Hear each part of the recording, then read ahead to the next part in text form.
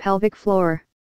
Soft tissue formed mainly by the pelvic diaphragm, which is composed of the two levator ani and two coccygeus muscles. The pelvic diaphragm lies just below the pelvic aperture, outlet, and separates the pelvic cavity from the perineum. It extends between the pubic bone anteriorly and the coccyx posteriorly.